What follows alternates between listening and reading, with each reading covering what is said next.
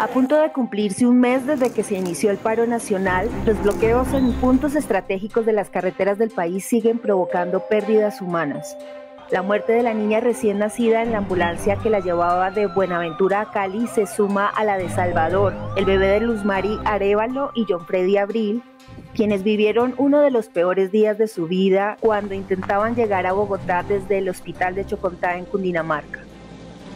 Esta tragedia ocurrió el pasado 4 de mayo y la pareja de esposos la cuentan en medio de su dolor con la esperanza de que no se siga repitiendo.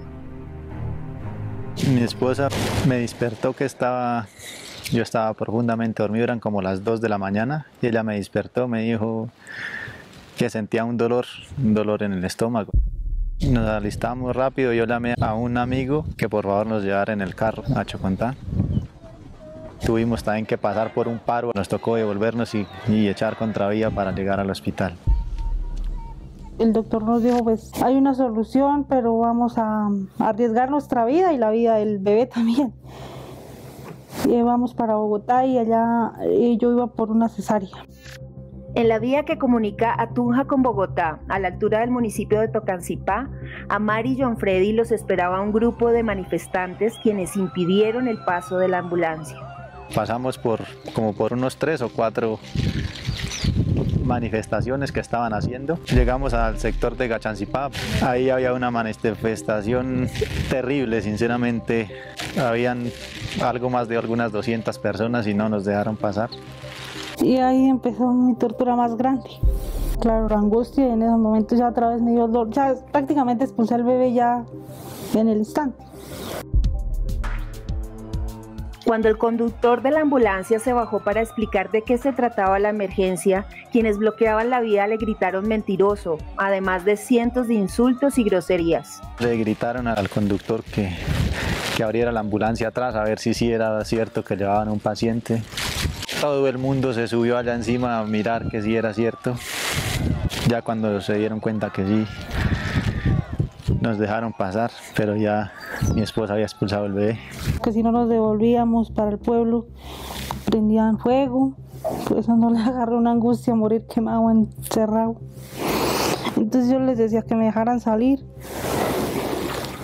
Y ya al fin se da esa angustia de, ver a esa gente prendida en la ambulancia y mirándolo a uno, que abran la ambulancia. Uy, eso es un pánico horrible. Aunque faltaban tres meses para el nacimiento del bebé, ellos estaban seguros de que todo saldría bien si lograban llegar a Bogotá. Mari y John tenían la esperanza de que esta vez sí iban a alcanzar el sueño de ser padres. Bueno, esto puede pasar, la primera vez. He tenido cuatro embarazos, el primero lo perdí, la segunda vez lo mismo. Pasó una tercera vez y lo mismo, ya la cuarta no fue no fue planeada porque yo estaba planificando, entonces me embaracé. Por algo Dios nos puso aquí, lo afrontamos con miedo, sí, porque me da mucho miedo. Mi hijo se iba a Salvador, de pronto él no pudo vivir en estas circunstancias, pero ojalá sea un mensaje para toda esa gente no es que mi hijo no, es, no fue el primero que murió en esas circunstancias porque ha muerto mucha gente. Pero ojalá sea un mensaje de mi experiencia le sirva a mucha gente, de esa gente que está haciendo paro, que hay que hacer protesta sin, sin violencia.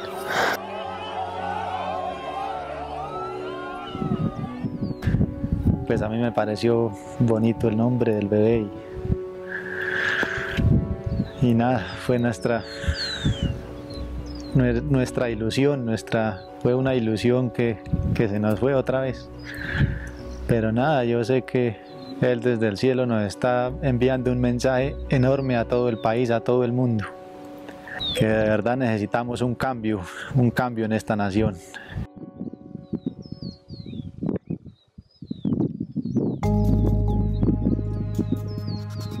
A sus 29 años, Mari camina despacio, un poco por la recuperación física y la cuarentena de la dieta, pero mucho más por la tristeza.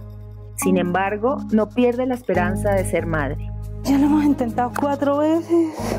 Ya también los médicos me dijeron que era mucho desgaste para mí, en mi salud. La última opción es adoptar. A ellos los caracteriza la humildad y el optimismo. Tras la muerte de Salvador, ha llegado la mano solidaria de varios ángeles de la guarda.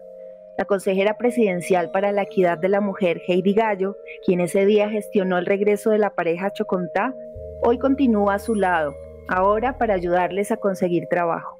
Cuando uno escucha a Luzmar y cuando uno escucha a John Freddy, a pesar de esta muy dolorosa situación, no se percibe odio, no se percibe resentimiento. Por el contrario, un mensaje de seguir adelante, de seguir en el amor, sea la construcción de encuentros desde la diferencia que nos permitan a todos, cada uno desde la posición en la que estemos de poder construir y de poder sacar adelante todos a Colombia mi mente y mi corazón estaban era en ellos, en, nuestro hijo y en, mi esposa, ¿sí? En mí yo no pensaba, yo se ocupó otra gente de mí, se ocuparon los ángeles de la guarda que se ocuparon de, mí, porque sinceramente yo andaba desconcertado, no sabía qué hacer. Tres semanas después de vivir el peor día de su vida, con una claridad que sorprende y conmueve, John propone una solución a los bloqueos que impiden el paso a las misiones médicas en las carreteras del país. Tenemos que, que superarnos y, y mantener la calma para poder saber exactamente por qué estamos peleando. Con la guerra no vamos a superar nada. Ese día que nosotros nos pasó esto, la gente que estaba esa gente no sabía qué estaba haciendo. De pronto se movían porque veían mover a la otra gente. Ante la pregunta de qué necesitan, los dos responden casi al mismo tiempo, trabajo. Además de una moto para recorrer los 12 kilómetros que los separan del casco urbano de Chocontá.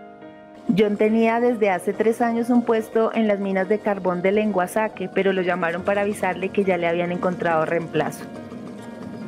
Nos están ofreciendo trabajos y todo, pero no tengo en qué movilizarme, entonces tengo una motico, pero sinceramente ya no, ya no quiso trabajar más, ya, ya es del, año 90, entonces ya, no quiso más, ya estamos, la estamos haciendo trabajar, pero a trancas y a muchas.